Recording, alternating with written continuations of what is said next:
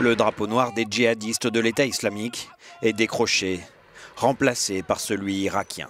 À Mamal al-Lil, ville à 15 km au sud de Mossoul, les forces pro-gouvernementales ont réussi à reprendre le contrôle du terrain.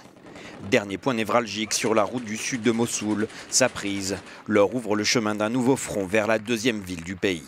La bataille s'est déroulée sur plusieurs jours contre au moins 70 djihadistes majoritairement étrangers selon des gradés irakiens.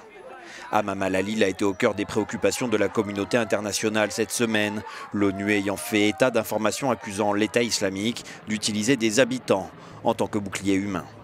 La prise de la ville intervient à la suite de l'avancée irakienne sur le front est de Mossoul. Selon ses responsables, six faubourgs auraient été repris aux djihadistes dans cette zone.